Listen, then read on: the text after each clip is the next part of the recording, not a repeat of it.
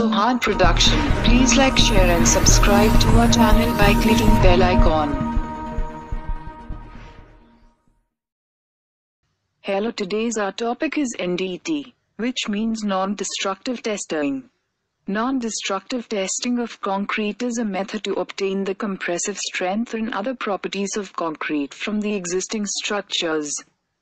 This test provides immediate results in actual strength and properties of concrete structure. Methods of non-destructive testing of concrete. Rebound hammer method, penetration method, pull-out test method, ultrasonic pulse velocity method, radioactive methods. Today we are going to study on rebound hammer test. It is called as plunger. It called plunger. And you can say it is a breaking pin is going to be provided. See, you require to apply some load on it. See, if I want to find this is a surface where I require to find the strength of the concrete. To find the strength of the concrete, I require to cast the cube. Then after casting the cube, I require to place in the compressive testing machine. After placing in the compressive testing machine, then the value of the compressive strength I am going to get. Is not. But what happened there? We are going to destructing the material. But here we should not have to destruct the material because it is already it has been constructed. I want to construct uh, another G plus uh, 4 story or G plus 5 story building. Therefore, I require to know the strength of this concrete. Then only strength of the concrete, or whatever the reinforcement is are there, then only we can able to know. Then after after knowing the strength of the concrete only we can able to suggest that whether we can able to construct it or not. Okay. Therefore, here it is a surface. On the surface, I require to find the strength. Therefore, here there will be a plunger will be there. Uh, by using the plunger, here what happened? Backside there will be a spring will be there. Whenever you're going to applying the load, you should apply slowly. You should not, it should not be faster. If you're going to apply faster, the spring will, will be damaged, and whatever the value you're going to get, the values are wrong. Okay, what I'm going to do, I'm going to find the strength of the concrete. What you see here, it is a surface. I'm going to apply a load. The load should not be more excess. It should not be excess of the load.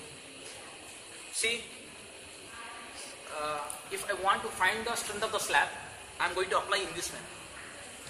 Okay, this position is called plus 90 degrees. Plus 90 degrees. If I'm going to apply the load in this manner, what happens if I'm going to apply in this manner? The gravity will be the downwards. Okay, bottom part will is going to push backwards. If I'm going to apply in this manner, the bottom part, again gravity will be this way. Then minus 90 degrees. It is called as plus 90 degrees. It is called as minus 90 degrees. Sometimes what happens if there is any cross element it's there, I require to find the strength. Means I am I'm going to apply in in this manner. Therefore, this is called as plus 45. 45. Plus or minus minus? Plus, plus, plus 45. Then it is minus, minus, minus 1. In this manner, I require to find the strength of the rock. See here, I am going to apply a load. Whenever I am going to apply a load, it is 0 degrees. It is 0 degrees. Zero. I am going to find the strength of this element. 0. See here. Sound.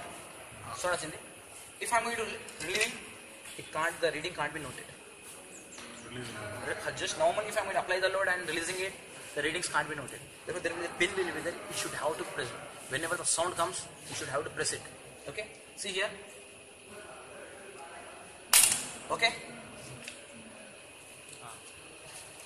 30 means 32. 32. 32 is the reading. Uh, see, the, there will be a graph will be there here. You can see this is graph. On this graph, where is 32? It is 32. 32, the angle is 0. You can see plus 90 degrees, plus 45 degrees, 0 degrees, again minus 45 degrees, minus 90 degrees. Okay?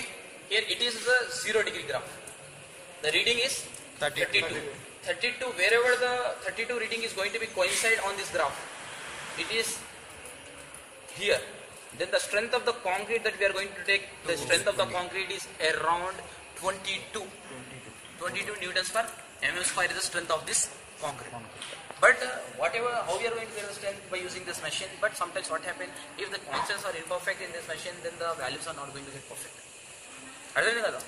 Now, by using this machine, we are going to find the strength of this beam element or column element. It is called as Rebound, rebound hammer. It is NDT test we are going to say. Okay. If there are graphs are there, by using this graph, whatever the reading we are going to get, we should we should have to see this graph reading, then plus it is plus, plus 90 degrees or minus, depending on the positions of applying the load. Yes. According to that, wherever it is going to coincide on this graph, that reading we require to be noted. If it is going to be considered 45 means 0 means strength will be around 45. In this manner we are going to find the strength of the concrete. It is called as rebound hammer.